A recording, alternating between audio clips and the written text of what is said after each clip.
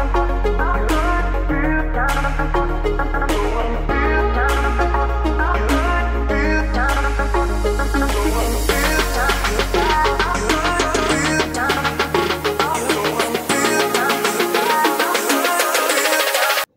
Aslam friends कैसे हैं आप सब? उम्मीद करती हूँ सब ठीक ठाक होंगे और बहुत मज़े में होंगे और आप सब देख सकते हैं कि यहाँ बन रही है माश की दाल।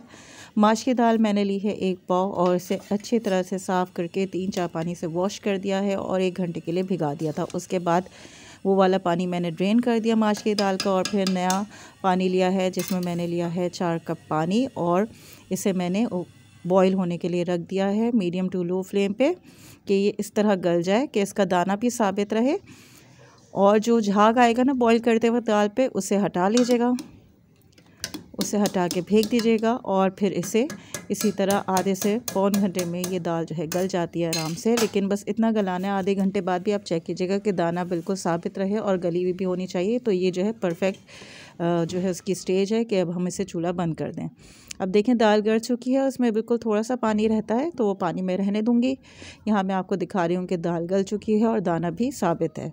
अब हम बघार की तैयारी शुरू करते हैं तो यहाँ मैंने लिया है एक कप ऑयल और इसमें मैं डाल दूँगी साबित गोल मिर्च और जो है तली हुई प्याज। अगर आप कच्ची प्याज लें तो पहले प्याज डालिएगा, जब प्याज ब्राउन हो जाए, उसके बाद साबित गोल मिर्च डालिएगा और यहाँ पे मसाले हैं, सफ़ेद ज़ीरा वन टेबल स्पून कुटी हुई लाल मिर्च टू टेबल स्पून हल्दी हाफ़ टेबल स्पून गर्म मसाला वन टी स्पून और साबित काले मिर्च और लौंग चार से पाँच अदद।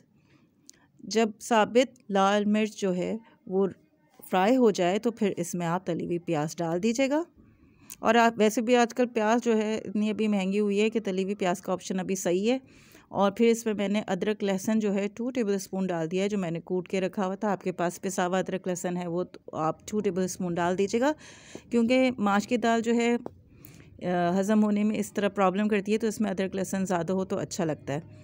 और फिर इसे बिल्कुल भी जलने नहीं दीजिएगा इस मसाले को थोड़ा सा पानी इसके अंदर शामिल करें और फिर जो ये ड्राई इंग्रेडिएंट्स हैं, वो भी इसके अंदर शामिल कर दें और थोड़ा सा पानी और डाल दें और इसकी अच्छी तरह से भुनाई करें। जब मसालों में खुशबू आने लगे तो फिर हमारा बघार तैयार है उसे आप दाल के ऊपर शामिल कर दें। दूसरी साइड पे मैंने हरा धनिया और हरी मिर्च भी काट के रख दी है और अदरक भी मैं काट के रख दूँगी, वो हम ऊपर से गार्निश करेंगे। यहाँ देखिए हमारा बघार जो है बिल्कुल जो है रेडी हो चुका है, मसालों की बहुत अच्छी खुशबू आ रही है। तो बस अब इसे मैं माश की दाल के ऊपर डाल दूँगी। तो बहुत आसान है और बहुत मज़े की बनती है, इस रेसिपी से आप ज़रूर बनाइएगा। तो देखिए, गार्निश के लिए भी हमारी सब चीज़ें रेडी हैं और दाल को मैंने बिल्कुल जो है हल्की आँच पे रख दिया था पाँच से दस मिनट के लिए और देखें मज़ेदार जो है दाल हमारी तैयार है तो बस बिल्कुल इसे लास्ट में गार्निश कीजिए और गरम गरम तंदूर की रोटी के साथ या चपाती के साथ इंजॉय कीजिए। मेरी रेसिपी अच्छी लगी हो तो प्लीज़ इसे ज़रूर लाइक कीजिएगा और जाते जाते चैनल पे सब्सक्राइब कीजिएगा। इस तरह आप अच्छी वीडियोस देखते रहेंगे। आने वाली वीडियोस तक के लिए थैंक यू एंड अल्लाह हाफिज़। Thank you.